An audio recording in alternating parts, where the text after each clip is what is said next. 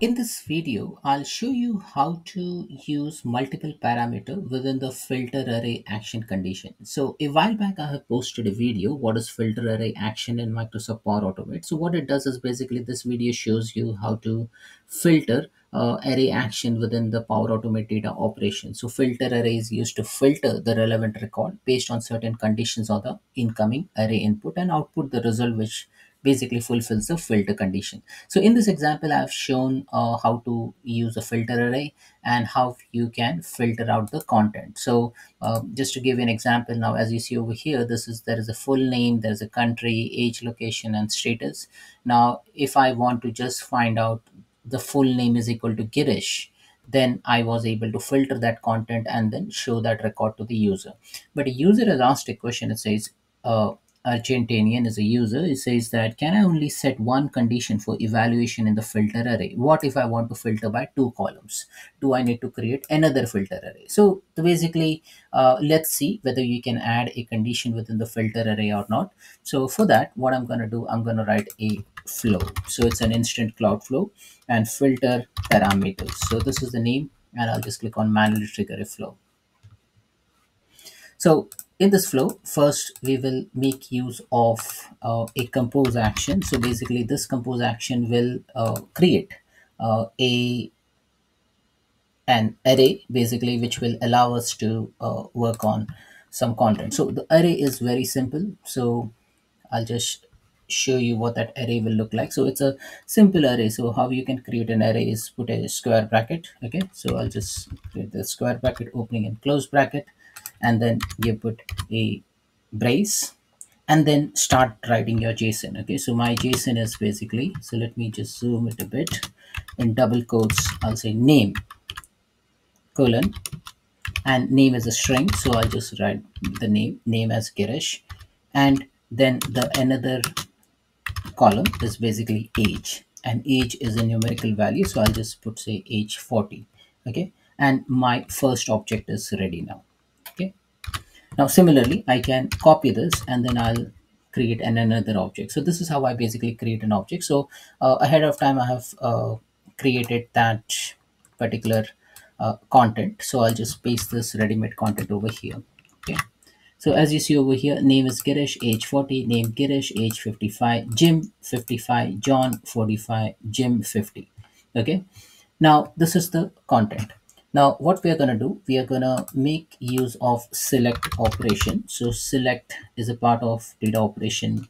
Uh, so here from from content, I'll take it from the compose output and then I'll try to map the values. Okay.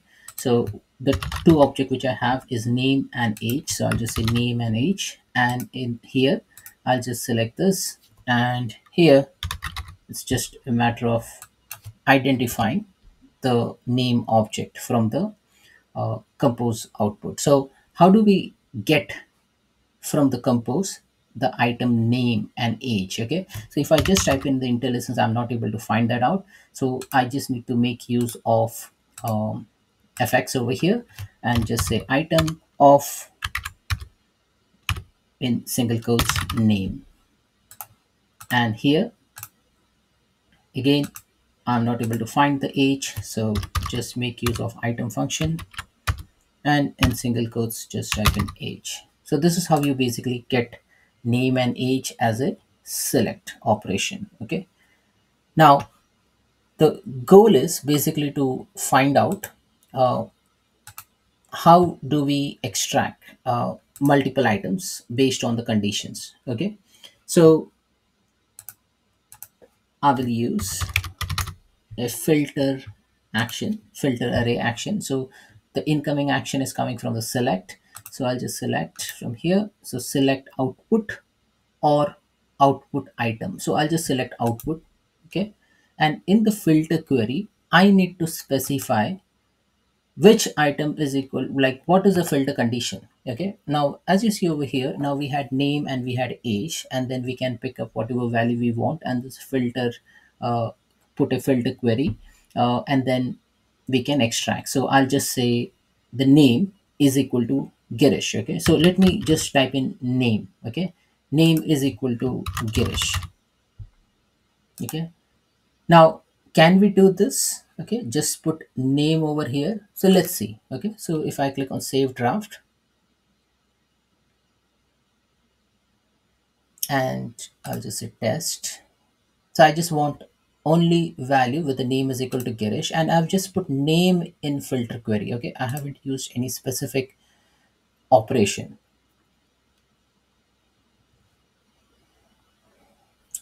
And test.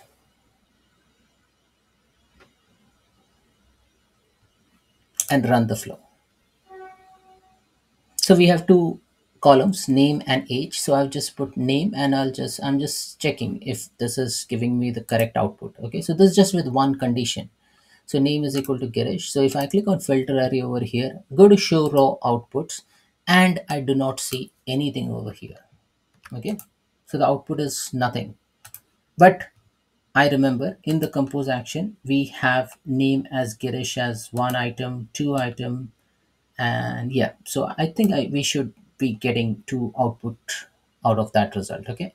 So let's do one more thing. If i click on edit go to filter array over here. Now instead of name i will just pick up this fx okay? And or maybe let me just select this and i'll just say item of name.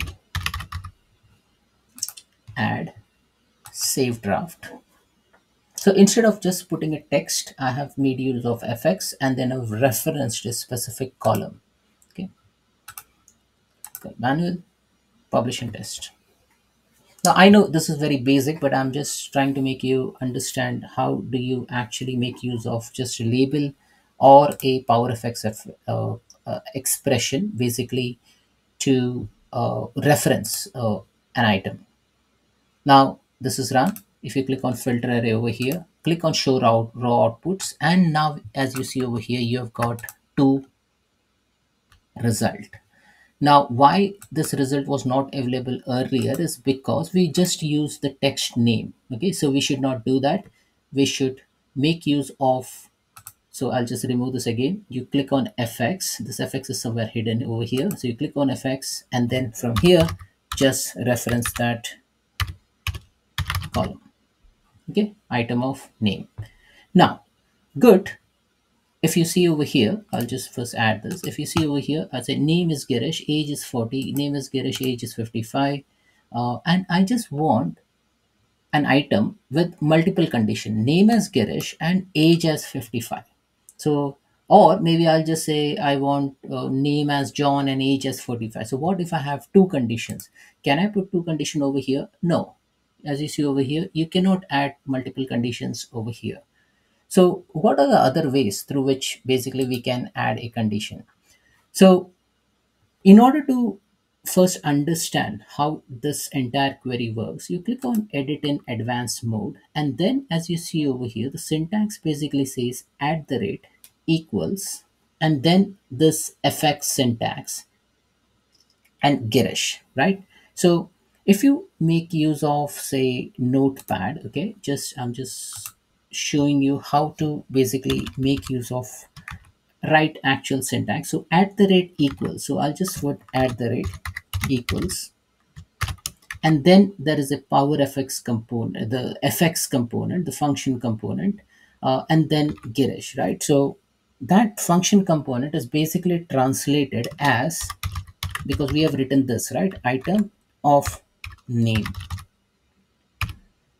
Item of name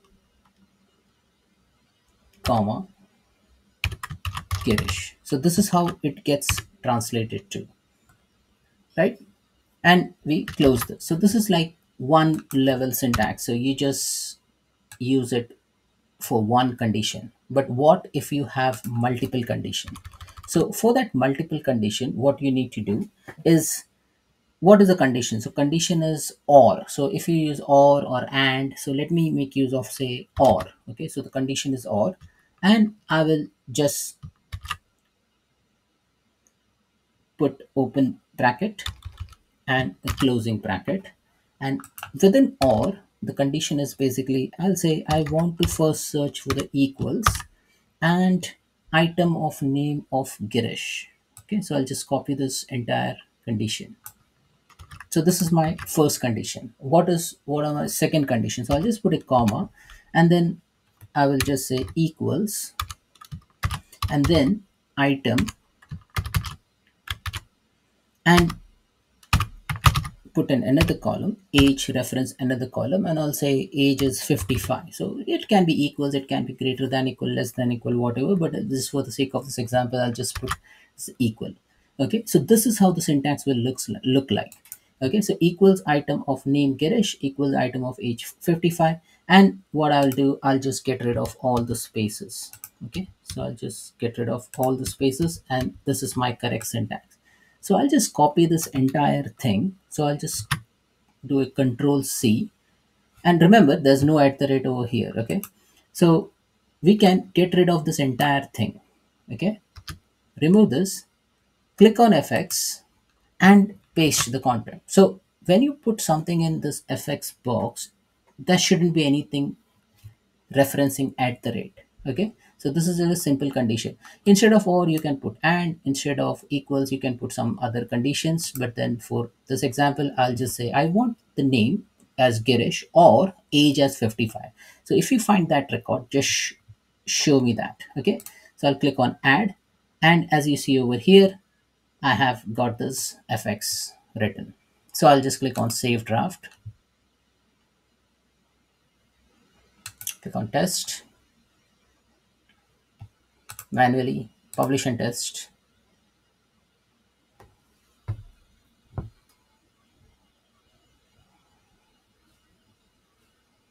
I'll run the flow. Click on done and once the flow is run just click on filter array. Show raw outputs. So for output it shows you no output but then if you click on show raw, raw outputs you will here you will see the items listed. So why the first condition is satisfied? It will give me Girish as a name. Second condition is satisfied Girish as name. Here the second condition is satisfied for age as 55 and that's why it's giving me this record right? So that's how you basically use two conditions okay in the filter parameter. So just to summarize what we have done, we have created a simple compose array. Uh, so this has uh, basically a simple JSON with name and age. So this is our data model.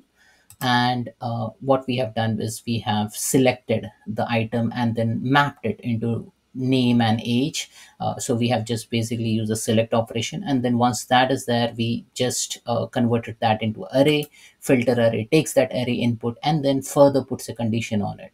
Now, as you see over here, there is from the UI perspective, you can only put one condition. But once you go into that fx uh, box, then there you can compose your own syntax. And writing syntax is pretty much simple. I showed it to you that you just need to properly break it down. Now, the simple syntax is like if you put anything in the fx box, make sure that you do not have at the rate in it. Okay. So simple conditions, what we do is like either pick or or and. So you can either put or or you can put and. You put a bracket and then you put your two conditions. So condition one, so I'll just say condition one, comma condition two. And condition one for our case is equals item of name Girish or equals item of age 55. And then once you get that, put that condition and then your syntax is ready. Paste that in that fx box and you can write multiple condition. So that's it, folks. So thanks, Argentinian, for the question. So yes, the answer is uh, yes. You can set more than one condition for evaluation in the filter array, and you need not create more filter object to filter out the array item but the options are not available in the UI. So you may need to bit tweak around and write with that fx operator. And once you are ready with that fx syntax, then you can actually add that in that filter condition. Thank you. Thanks for watching.